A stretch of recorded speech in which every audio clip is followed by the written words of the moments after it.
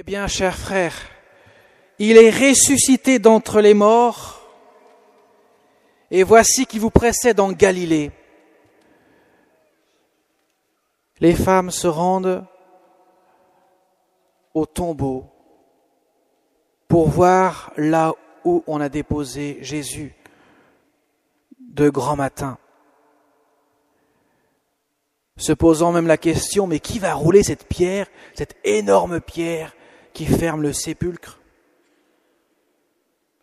Et voilà qu'elle voit le tombeau vide, un ange après un grand tremblement de terre, effrayant les gardes qui sont comme raides morts.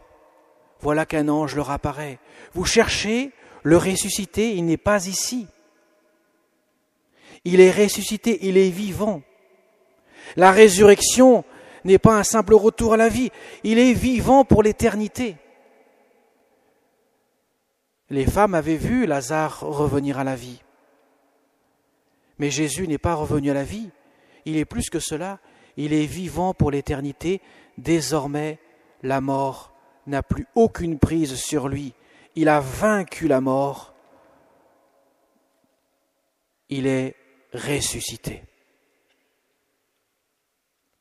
Il est passé par la mort. Et le troisième jour, il est ressuscité.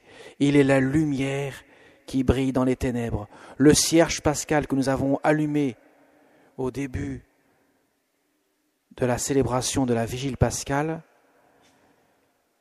c'est la lumière du Christ ressuscité qui éclaire les ténèbres de nos cœurs. Mais bien, chers frères, pour la première fois, pour la première fois dans l'histoire de l'humanité, la lumière de l'espérance naît. Car enfin, la solution est arrivée. L'homme était voué inexorablement à une mort certaine. Il n'y avait aucun remède à la mort, aucun, si ce n'est celui-ci. Le Christ, lui, Dieu fait homme, a endossé sur lui tous nos péchés pour les détruire dans sa propre mort, vaincre dans sa mort, la mort même, conséquence du péché, pour donner la lumière de la résurrection qui est le fruit de son amour. Il n'y a pas de plus grand amour que de donner sa vie pour ce qu'on aime. Cela, il l'a vécu dans sa croix. La victoire est donc consommée. En ce soir, nous fêtons la plus grande des nouvelles qui soit. Mes chers amis, cela vaut toutes les nouvelles, quelles qu'elles soient. Tout ce qui est terrestre est appelé un jour à passer, à disparaître. Cette nouvelle ne concerne pas la vie sur terre seulement, mais elle concerne l'éternité, ce à quoi nous avons été, créés et sauvés, et que nous sommes appelés à vivre. Dans quelques instants, six personnes vont être baptisées, des enfants et un adulte. Ils vont être plongés dans la mort et la résurrection du Christ. Dans les premiers temps chrétiens, d'ailleurs, on baptisait en plongeant la personne dans l'eau pour signifier la mort du Christ en croix. Car la mort du Christ n'est pas une défaite cuisante, mais une victoire, parce que la mort du Christ, elle n'est pas la conséquence d'une mise à mort, elle est la conséquence d'un don d'amour. Jésus nous a aimés jusqu'à donner sa vie. Car sa vie, nul ne la prend, c'est lui qui la donne.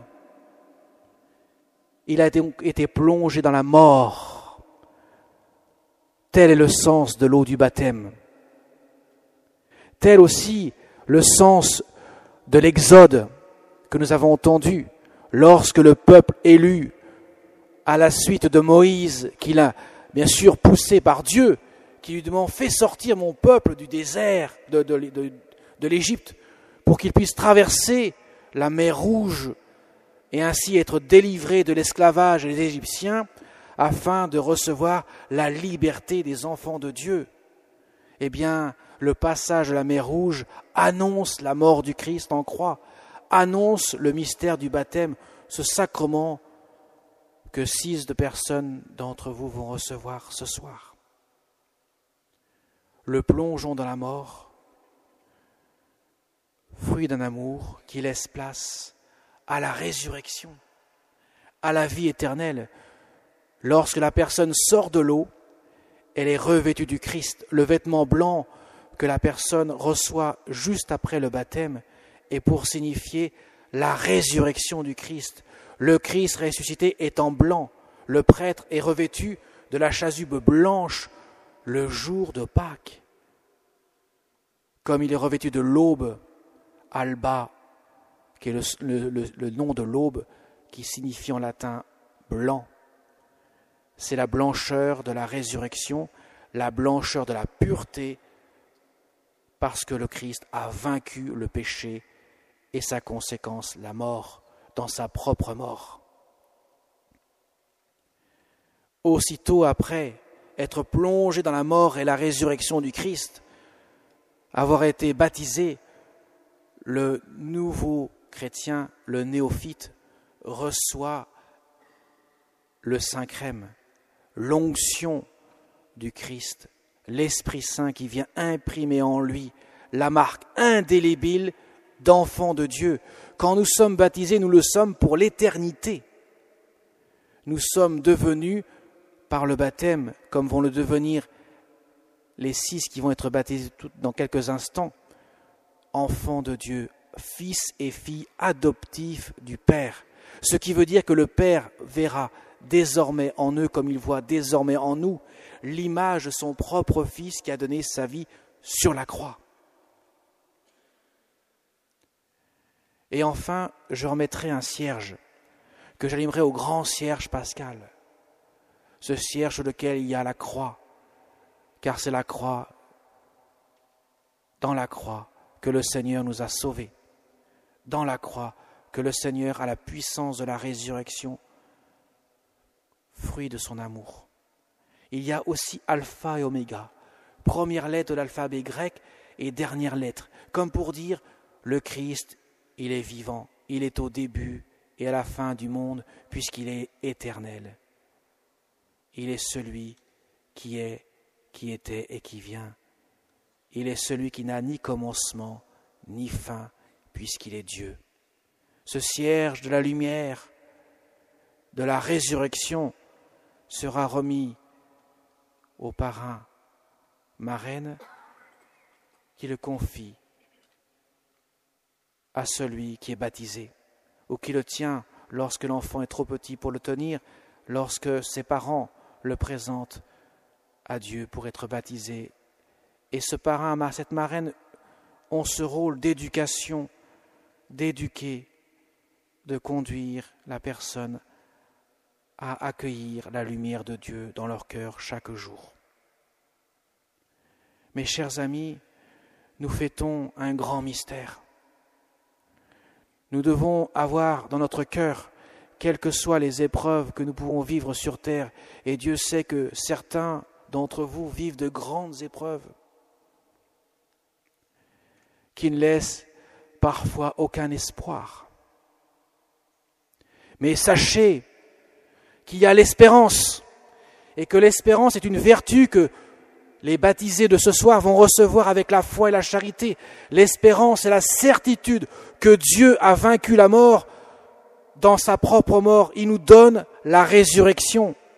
Il nous demande seulement d'accueillir ce don dans la foi, qui est une vérité que je reçois, que j'accueille de tout mon cœur, qui est Dieu lui-même. Jésus l'a dit, je suis la vérité, parce qu'il est Dieu et que tout existe, comme nous l'avons entendu dans la, première lecture, le livre de la, Genèse, de la Genèse, tout existe parce que Dieu a donné vie à toute chose créée. Sans lui, rien n'existerait. Mes chers amis, devons rendre grâce à Dieu pour ce don merveilleux qui nous donne l'espérance.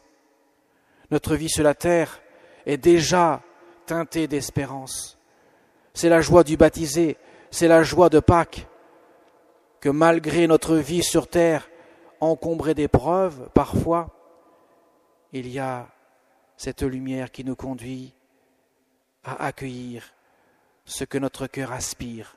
Car quel que soit le bonheur que nous pouvons avoir sur terre, jamais nous sommes comblés. Notre cœur aspire à quelque chose qui est infini.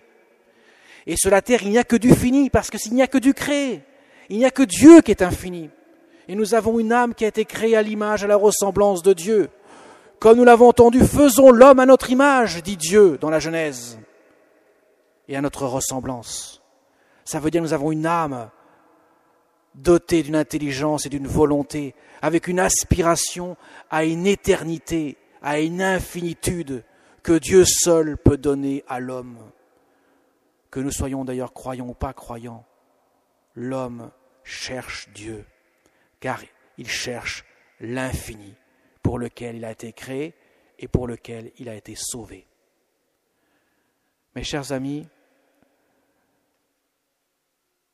les néophytes, ceux qui vont être juste baptisés, se tourneront vers la Sainte Vierge quelques instants après le baptême,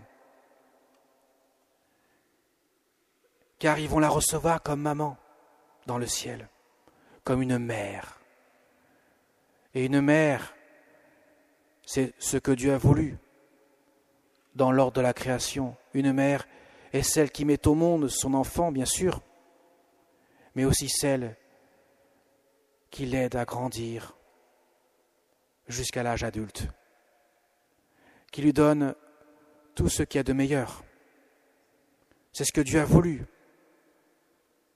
Et Dieu nous donne une mère, non seulement sur la terre, mais également dans le ciel. Quand Jésus l'a donné au pied de la croix, sur la croix, à Saint Jean, femme, voici ton fils, la Vierge Marie accepte cette mission et ainsi nous prend sous son manteau protecteur et nous prend comme son propre enfant,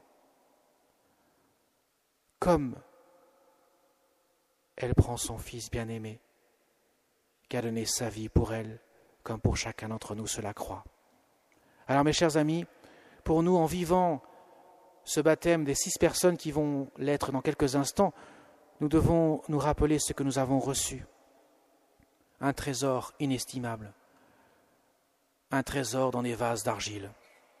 Et nous devons rendre grâce pour cela.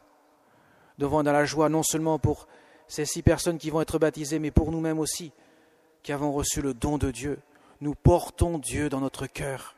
Nous sommes le temple de Dieu. Nous sommes habités par la présence de Dieu. Et la Vierge Marie veut réveiller en chacun d'entre nous cette promesse du baptême que nous avons reçue. Dieu a promis pour chacun d'entre nous le ciel. Il nous demande seulement de l'accueillir. Et la Vierge Marie est là pour nous aider. Invoquez-la, priez-la. C'est elle qui vous aidera à aller au bon port. Quelle éternité bienheureuse, car Dieu, il donne et ne déçoit jamais, il ne reprend jamais. Ce qu'il donne, c'est ce qu'il y a de meilleur pour nous. Amen.